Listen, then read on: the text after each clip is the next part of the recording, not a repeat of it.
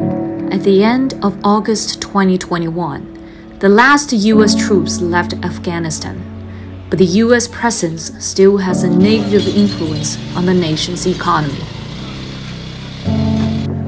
Agriculture, on which the landlocked country's economy is mainly dependent, has been the first victim of the war ravaged country's economic sectors.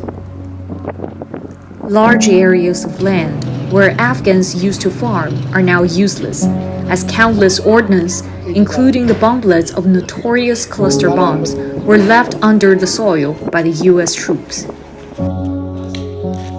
An electricity generating facility, including several rows of diesel storage tanks, in the southern city of Kandahar has been abandoned and is no longer in use. Some roads the United States had built were bombarded beyond recognition by the US troops. The dire situation worsened following the Biden administration's decision to freeze some 7 billion US dollars worth of assets of Afghanistan's central bank.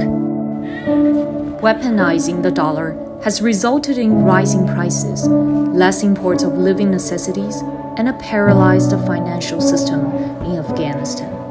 ما براتان اتر بگویم که در مو سال که در وقت جمهوریت 599 مریض ما در یک سال بستر داشتیم.